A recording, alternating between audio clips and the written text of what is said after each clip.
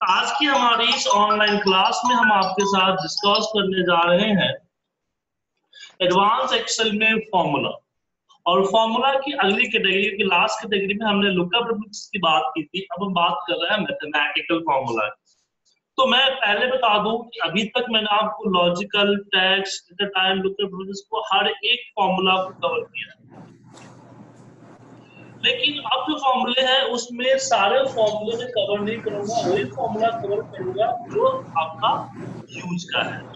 ऐसा इसलिए क्योंकि इसमें बहुत सारे फॉर्मूला मैथमेटिक्स से बिलोंग करते हैं। तो मैथमेटिकल फॉर्मूला आपको सीखने से पहले मैथमेटिक्स को जानना पड़ेगा। तो इसलिए सबसे पहले फॉर्मूला की बात कर रहे हैं हम एबीएस की। संतोष जी क्लास में हो क्लास के बाद उसका एबीएस का फॉर्मूला एबीएस का फॉर्मूला जैसे कि मैं यहाँ पे मान लीजिए कुछ नंबर्स कुछ फिगर्स हमारे पास है। कुछ प्लस में है एंड कुछ माइनस में अब ऐसा क्यों है? मान लीजिए ये आपकी इनकम से तो जो डायरेक्ट कैश आया, वो प्लस में है, लेकिन जो डिस्काउंट आया तो आपके लिए इनकम है, लेकिन किसी और के लिए एक्सपेंस है तो माइनस ही होगा ना डेटा में। तो माइनस आया। मान लीजिए कि आपको क्रेडिट कार्ड से नाइन्टी फाइव रुपीज़ का कैशबैक मिला तो कैशबैक मिला तो माइनस, बिलिंग में तो माइनस में रहेगा, बट यहाँ प्लस में आ गया। समझे? यहाँ तो मेरी अर्निंग है ना। तो मुझे इन शॉर्ट में करना चाहता हूँ कि जो प्लस वाले हैं, माइनस वाले हैं, उसको प्लस में और प्लस वाला प्लस होना चाहिए ताकि मुझे इनके एग्जैक्ट टोटल आ जाए। अभी मैं टोटल कर रहा हूँ तो जो माइनस वाले हैं वो माइनस होके दिख रहा है जो कि गलत हो रहा है। तो किसी भी नंबर को माइनस में करना है और उसको प्लस में करने का एक सिंपल साधन था कि हम माइनस करें और सिलेक्ट कर लें अपने उस पर्टिकुलर नंबर को। बट इसमें एक प्रॉब्लम है कि अगर आपका नंबर प्लस में हुआ तो माइनस हो जाएगा। सो so, मैं यहाँ करना चाहता हूँ कि जो प्लस का है, वो तो प्लस में ही रहे। बट जो माइनस है, वो प्लस में रहे। तो इसके लिए क्या करें?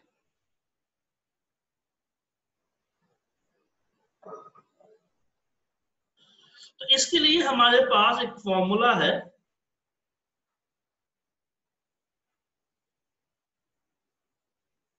ABS equal ABS.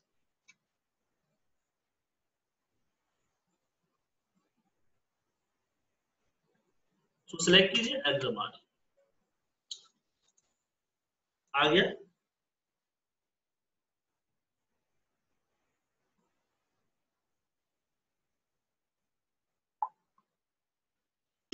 लेकिन प्रॉब्लम यहाँ पे एक चीज़ और है। नहीं, ये तो ठीक है प्रॉब्लम नहीं मतलब कि इसका और क्या यूज़ हो सकता है? तो याद होगा जब मैंने आपको रैप का फॉर्मूला बताया था उसमें भी इसका इस्तेमाल किया था। जैसे कि मेरे पास नंबर्स है मुझे इसको बार चार्ट बनाना है। तो हमने यहाँ पे क्या किया था? हमने यहाँ पे दिया था रैप और रैप में हमने दिया था इसको कॉमा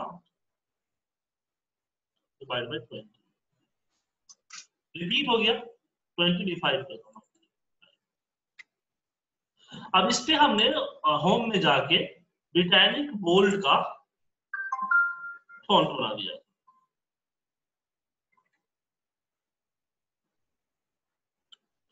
इसमें इसमें नीचे आएगा ब्रिटानिक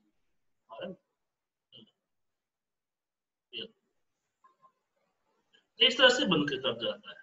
लेकिन मुझे इसमें क्या करना था कि इसमें हमारे पास कुछ माइनस भी फिगर थे मैं चाह रहा था कि माइनस वाले फिगर जो है,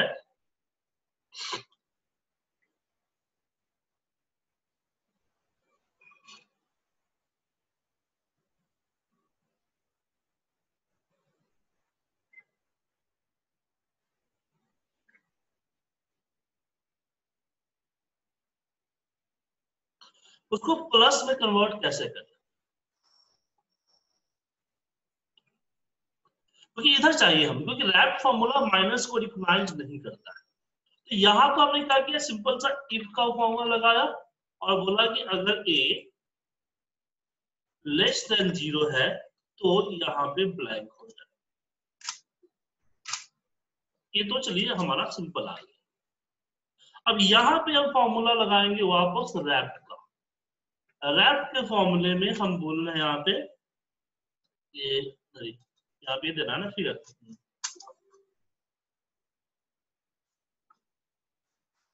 और हमने इसको सिलेक्ट कर लिया और डिवाइड बाई फाइव कर दिया ताकि ये थोड़ा सा कम है अब इस पे भी हम सेम फॉन्ट अप्लाई कर देते हैं। और इसका कलर रेड कर देते हैं।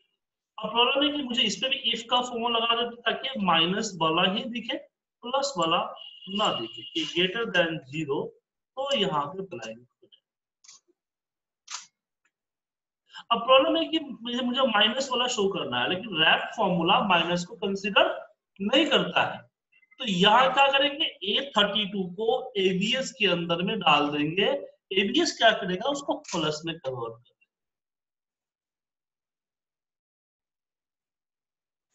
समझे? तो ऐसे बहुत सारे जगहों पे हम इसका इस्तेमाल करते हैं रैप फॉर्मूला का। अब रैप फॉर्मूला से आगे बढ़ते हैं तो रैप नहीं एबीएस से। एबीएस फॉर्मूला के बाद आगे हमारे पास एग्रीगेट फॉर्मूला आता है, और एग्रीगेट को समझने के लिए हमें सब टोटल समझना होगा, और उसके लिए हमें चाहिए एक डेटा तो चलिए एक डेटा को ओपन करते हैं।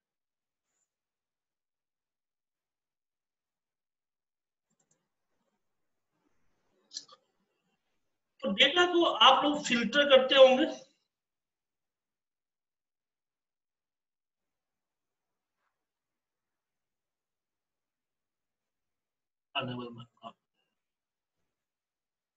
डेटा को आप लोग फ़िल्टर करते होंगे। ये डेटा है हमारा। तो मान लीजिए हमने इस पर फ़िल्टर लगाया। फ़िल्टर लगा हुआ है मैं इस पर मान लीजिए आईटी को सिलेक्ट करता तो आईटी को सिलेक्ट करने के बाद डेटा दिख है। तो मैं चाहता हूँ कि इसके नीचे मुझे इसका टोटल भी दिखे। तो आप बोले, सर टोटल के लिए कौन सा बड़ी बात है? हम सम का फॉर्मूला लगा लेंगे। अच्छी बात है, चलिए हम यहाँ पे सम का फॉर्मूला लगा लेते हैं।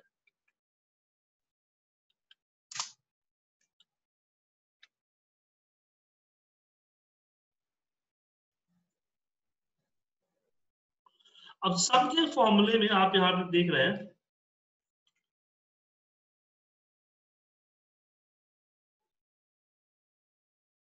टोटल आ गया। अब चलिए वापस हम फ़िल्टर लगाते हैं। अब यहाँ पे टोटल ओवरऑल का दिख रहा है।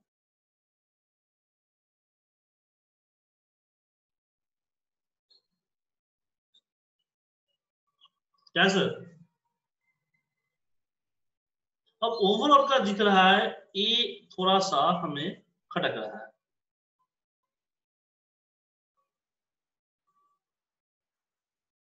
क्यों? क्योंकि जो ओवरऑल आपका ये दिख रहा है, इसमें दिक्कत दिक्कत ये है।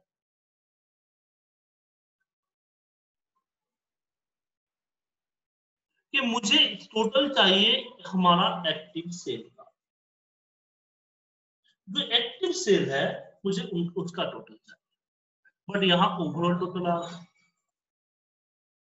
तो सिर्फ़ सम हो हमारा विजुअल सेल्स का सम हो इसके लिए हम क्या करेंगे? कि सम के जगह पे हम यहाँ यूज़ करेंगे सब टोटल का।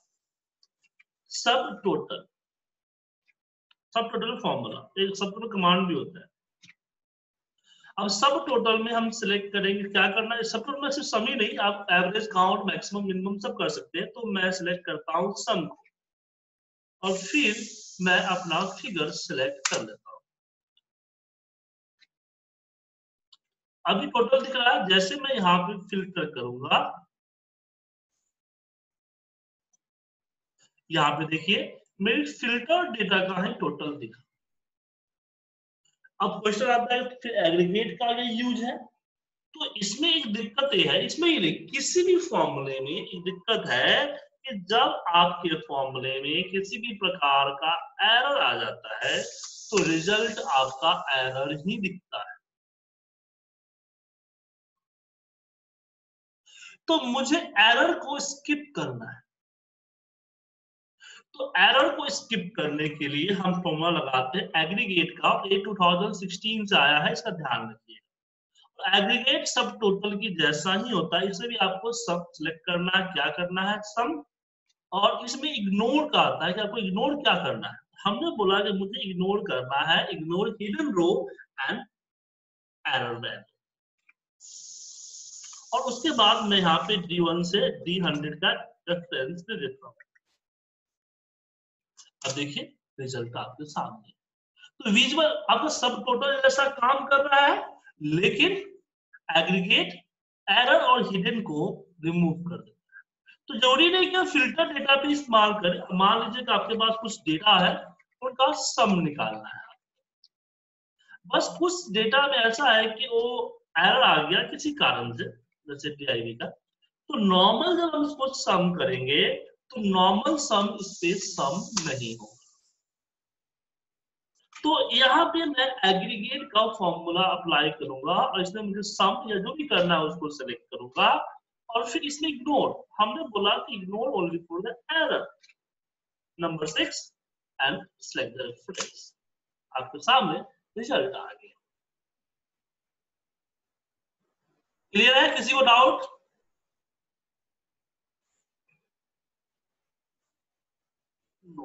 सर। नहीं सर। अरे प्रैक्टिकली बहुत यूजफुल है। हाँ इसलिए तो मैंने सर बताया आपको। उसके बाद यहाँ पे अरेबिक है। अरेबिक से पहले आपको रोमन समझना होगा। जैसे आपने सीरियल नंबर देते हैं तो रोमन नंबर जानते हैं ना सर? जी सर। टेन सिक्स सेवन या एट में हमने पढ़ा था रोमन नंबर रोमन नंबर कहाँ तक होता है?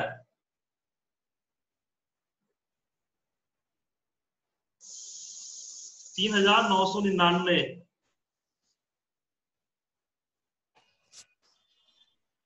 कहाँ तक फिर? तीन हज़ार नौ सौ निन्यानवे। उसके आगे नहीं होता है? नहीं उसके आगे उन्होंने गिनती की नहीं।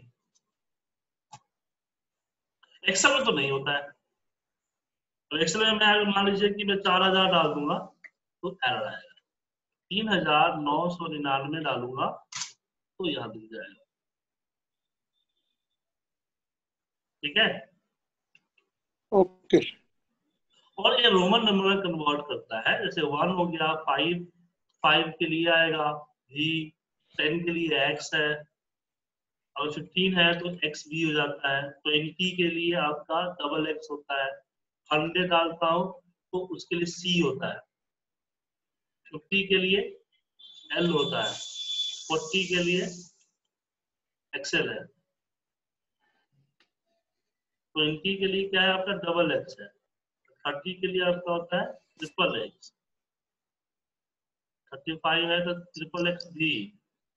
फोर्टी है तो एक्स एल थर्टी नाइन तक चलता है आपका फोर्टी होते ही एल आ जाता है। फोर्टी फाइव एक्स एल भी अच्छा आप समझ में आ गया आप समझ में आया कि जब हम कपड़ा खरीदते हैं तो फोर्टी नंबर का पूरा पे एक्सेल क्यों लिखा होता है? हम्म। क्या? सही बता एक्सेल मीन्स वो रोमन में लिखा रहता है। हम्म, सर फोर्टी फोर कितना होता है? क्या बोल रहा है?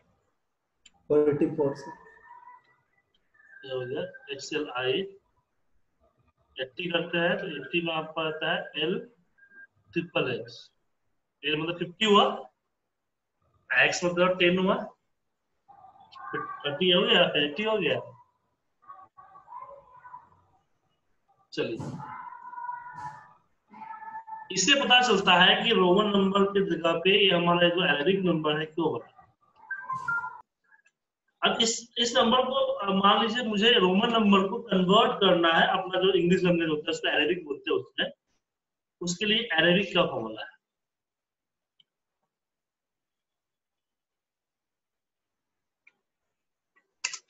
ठीक है?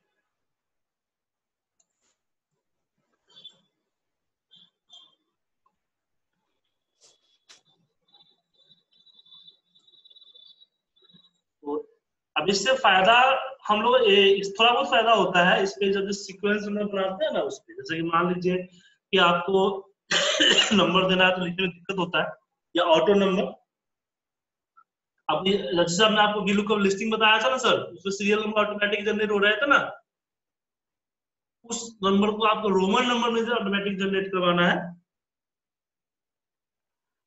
तो उस केस में इसका यूज़ करते हैं। ओके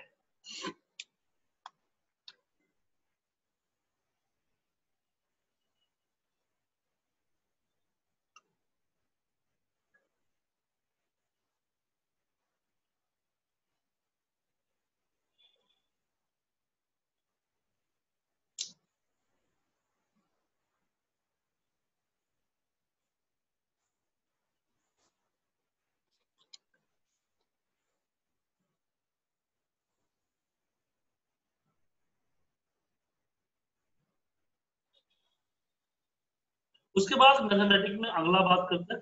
एनालिटिक के बाद, उसके बाद हमारे पास सेलिंग का फॉर्मूला है सेलिंग फॉर्मूला से पहले हमें राउंड का फॉर्मूला समझिए राउंड का फॉर्मूला क्या करता है? तो राउंड का फॉर्मूला मतलब कि कोई नंबर हमने लिखा, उसको राउंड करना है। राउंड दो तरह से होता है कि डेसिमल हटा के करें या डेसिमल्स को ही राउंड करें।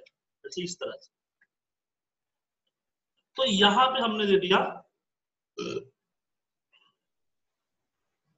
राउंड का फॉर्मूला मुझे इसको राउंड करना है दो डेसिमल्स में।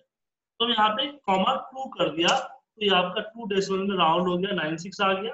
अगर यहाँ पे नाइन थ्री होता नाइन सिक्स थ्री है ना इसलिए, अगर थ्री के जगह पे अगर सेवन कर दो तो नाइन सेवन दिख जाएगा। तो तो नियरेस्ट को शो करता है। लेकिन अगर आप यहाँ पे दो डेसिमल प्लेसेस नहीं, आप ज़ीरो कर दोगे दो की जगह पे तो फिर डेसिमल प्लेसेस आएगा ही नहीं, और आपका फिगर राउंड हो जाएगा। और सेम फीचर्स होते हैं राउंड अप में, लेकिन ये हमेशा अपर की तरह वर्क करता है। और एक हमारे पास फॉर्मूला होता है, यहाँ पे राउंड डाउन जो कि डाउन नीचे की तरफ़ वर्क करता है। तो round up and round down दो फॉर्मूला हमारे, आपके पास आ गए।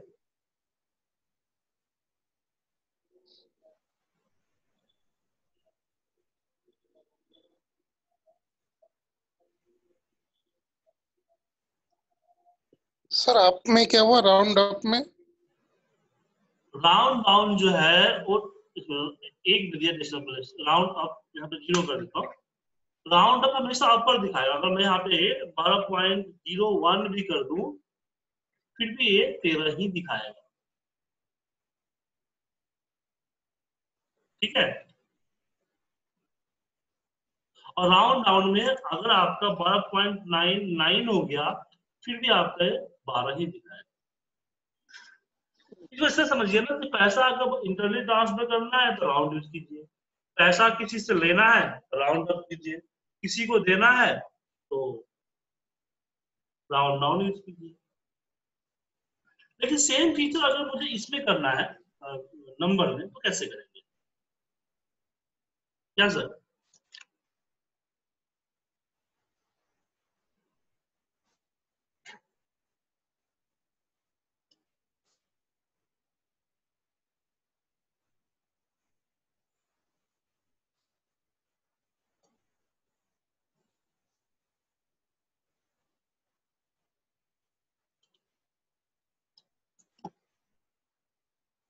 तो जैसे कि मान लीजिए ना कि आप एफडी करने जाते हैं तो एफडी जो होता है, वो 500 के मल्टीप्लीकेशन पे होता है।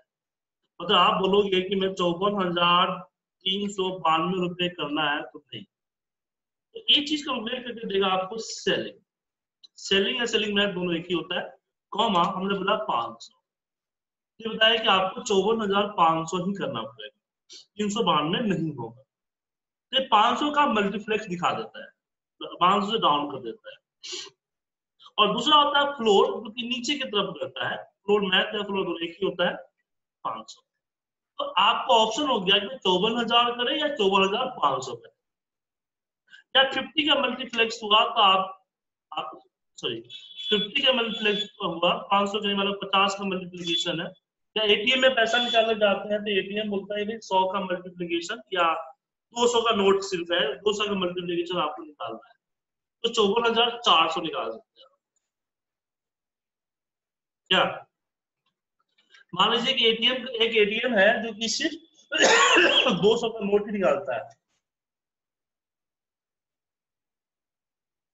राइट तो अगर वहाँ पे आप, मान लीजिए मैंने यहाँ पे ग्यारह सौ दिया तो क्या ग्यारह सौ निकालेगा? वो नहीं निकालेगा। कितना निकालेगा, इसके लिए आप कैलकुलेट कर सकते हैं फ्लोट एंड मैथ ये नंबर्स को राउंड करता है।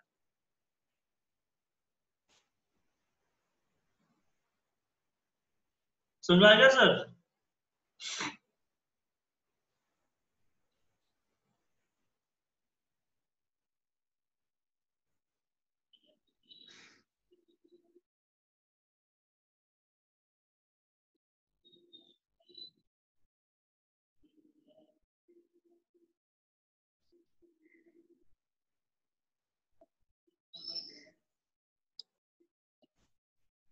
तो ये आपका राउंड के फॉर्मूले हो गए राउंड राउंड के फॉर्मूले हो गए अब एक क्वेश्चन आप लोग नोट कीजिए।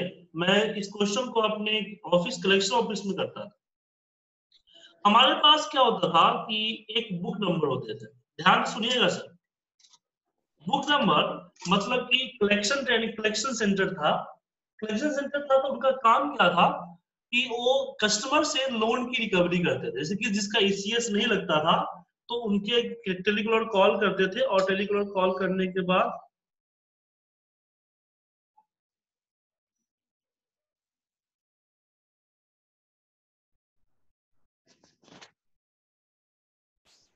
एग्जीक्यूटिव जाता था एग्जीक्यूटिव वहाँ पे अपना बिल दे पैसा लेता था, एक इनवाइस काट के देता था, एक रिसिप्ट काट के देता था कैश रिसिप्ट तो उस रिसीट की ट्रैकिंग होती थी ताकि ऐसा ना हो कि कोई बंदा पैसा काट के रिसीट दे दे और कस्टमर का पैसा जमा ना करे, खा जाए। तो हर बुक की, हर रिसीट की एक एंट्री होती थी।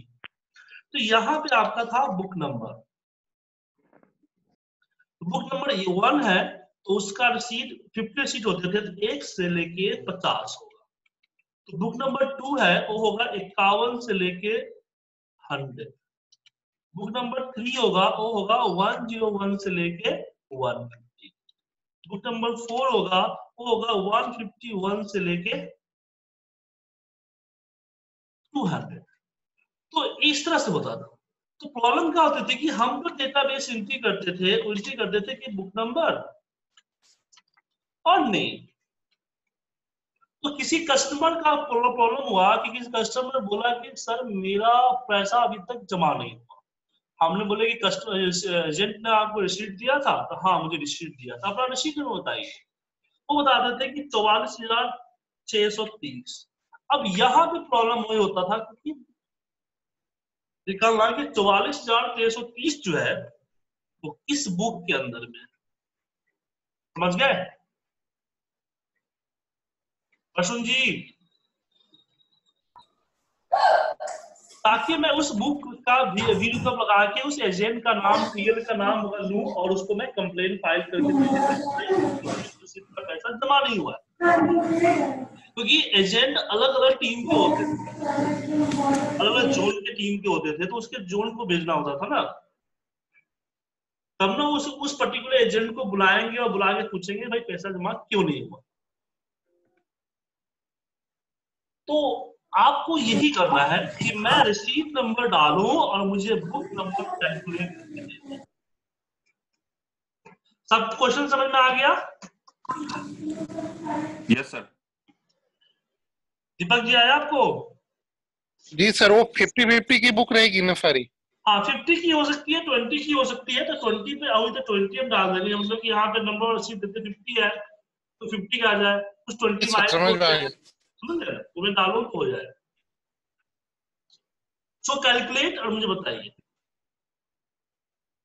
अगर आपने कैलकुलेट कर लिया तो किसी का काम बहुत आसान हो जाता है। समझे ना? अगर आप इस जगह में बैठे हैं तो आपने कैलकुलेट कर लिया तो आपका काम बिल्कुल आसान हो जाए क्योंकि आप ढूंढ पाएँगे।